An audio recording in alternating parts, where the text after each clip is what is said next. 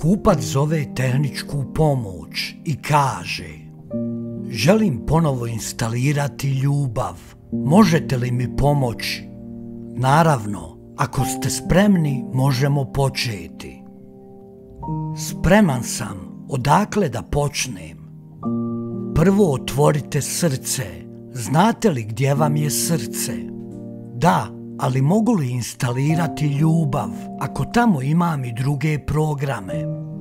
Koje programe imate aktivne? Imam stare zamjerke, nisko samopouzdanje, razočarenje i frustracije.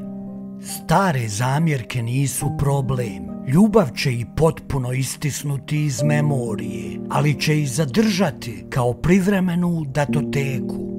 Isto se može reći i za nisko samopouzdanje, ali morate izbrisati razočarenje i frustracije jer ometaju instalaciju programa. Kako ih izbrisati? Idite na izbornik Start i kliknite na oprost, pa će se razočarenje i frustracije izbrisati. Jesam, preuzimanje ljubavi je počelo samo od sebe. Je li to normalno? Da, to je osnovni program, a nadogradnja dodaje puno srca. Piše greška, program ne radi s internim komponentama. Što to znači? To znači da ljubav već radi sa unutarnjim komponentama, ali još nije u srcu. Da bi to postigli, morate početi voljeti sebe. Šta trebam učiniti? Kliknite na samo prihvaćanje, a zatim prenesite datoteke, samo oprost i budite svjesni svojih vrlina i mana.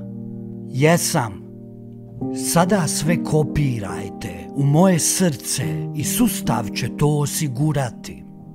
No morate ručno izbrisati verbalnu autokritiku i svih izbornika i isprazniti smeće. Nikada ne učitavajte opširnu samokritiku. Napravio sam. Moje srce se puni novim datotekama Vidim osmijeh, ravnoteža duše, događa li se uvijek tako? Ne uvijek, ponekad treba više vremena. Ljubav je besplatan softver, ali da biste uspjeli morate ga poklanjati drugima i oni će vama pokloniti svoje verzije. Hvala na pažnji do idućeg videa, veliki pozdrav!